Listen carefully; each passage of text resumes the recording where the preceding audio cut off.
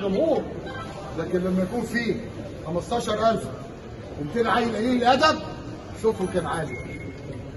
محبوسين مين اللي موجودين؟ ده أنتوا هتتحبسوا تاني. ده أنا افتكرتم افتكرتكم محترمين.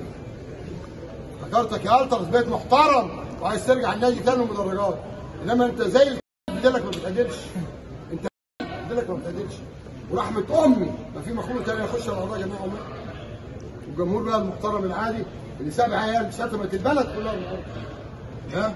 أولاد مش عارف إيه أم طلع المحبوسين. مين محبوسين؟ مين؟ المجرمين؟ اللي قتل ظابط اللي في رابعة؟ نادوا انه يطلع في رابعة؟ عايزين نطلع المناضل سياد مشاغب؟ صور. أقول تاني أقول لجمهور الزمالك المحترم. أنا آسف خلاص. تجربة فاشلة.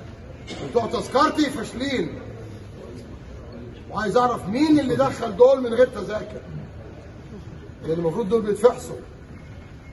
استفدتوا إيه لما شتمتوا البلد كلها النهارده؟ أبطال ولا أبطال؟ شوية عيال.